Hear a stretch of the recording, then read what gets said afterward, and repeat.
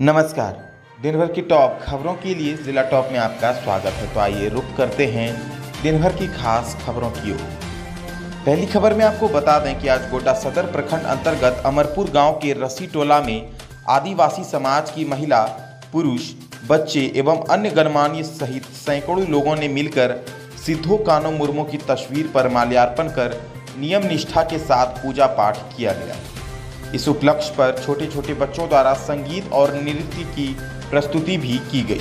वहीं गोड्डा जिला के आसू छात्र संघ के जिला प्रभारी डॉक्टर निर्मल कुमार मंडल ने कहा कि हूल दिवस को क्रांति दिवस के रूप में मनाया जाता है। आज संथाल प्रंगना में जितनी भी ज़मीन आदिवासी एवं गैर आदिवासी के सुरक्षित हैं, वह संथाल हुल का ही परिणाम है।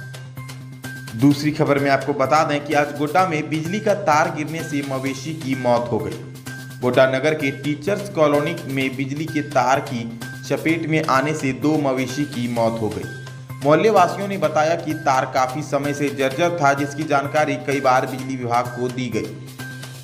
पर अब तक इसकी सूद नहीं ली गई। वहीं वार्ड पार्षद ने बताया कि यह एक संयोग था कि किसी आदमी पर यह तार नहीं गिरा।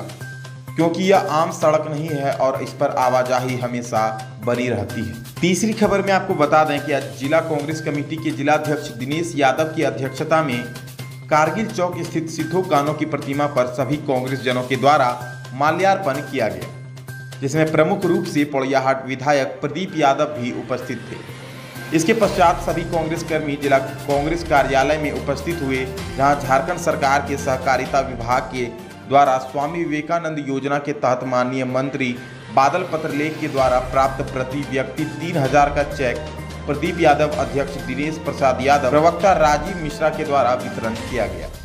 अगली खबर में आपको बता दें कि बीते 27 जून को जिला टॉप के द्वारा एक सीसीटीवी फुटेज दिखाया गया था, जिसमें दो युवक गाड़ी चोरी करते दिख रहे थे। जिस खबर के चलने के बाद पुलिस महाकामा रेस पकड़ चुका था और आज उसमें से एक चोर को पुलिस ने गिरफ़्तार कर लिया है। चोर का नाम राजन शाह बताया जा रहा है, जो कन्हारा का रहने वाला है। वहीं दूसरा भी उसका रिश्तेदार है, जिसकी तलाश गोड्डा पुलिस कर रही है। अगली खबर में आपको बता दें कि आज गोड्डा के बुआरीजोर थाना क्षेत्र के महुआ टोला के समीप सड़क दुर्घटना में एक महिला की मौत हो गई। वहीं मृतक के पति सूरज हेमरम ने बताया कि वो अपनी पत्नी को लेकर हूल दिवस के अवसर पर भोगना डी बरहेट घूमने के लिए जा रहे थे। जिस क्रम में सड़क खराब होने की वजह से गाड़ी अनियंत्रित हो गई और दोनों गिर गए, जिसमें पत्नी को गंभीर चोट आने के कारण पत्नी की घटनास्थल पर ही मौत हो गई।